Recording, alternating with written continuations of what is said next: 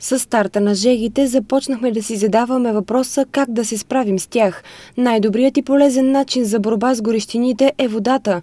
Именно заради нуждата от животворната напитка от столична община започнаха да раздават безплатно минерална вода на няколко пункта в София, площада пред храм Света неделя и на езерото Ариана. Целта на тази инициатива е да осигурим комфорта на гражданите и гостите на столицата. Обикновено започваме тези инициативи при температури обявени над 30 градуса градуса. Предполагам, че ще има и други такива акции, защото сезона едва сега започва. Десетки столичани се възползваха от акцията, за да отолят жаждата си и да се разходят в поредния, но не и последен горещ ден. Трябва да се пие много вода. Но... Как се справяте с жегите?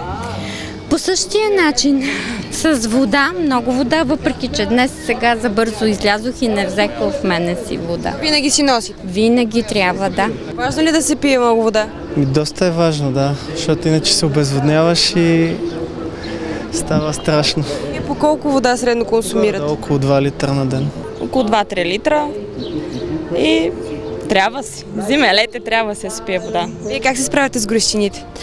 Ами разходки на сянка, тя на градина, аз на работа, на климатика.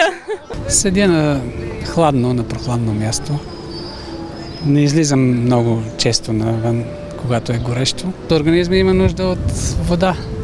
75% мисля, че от организма е вода.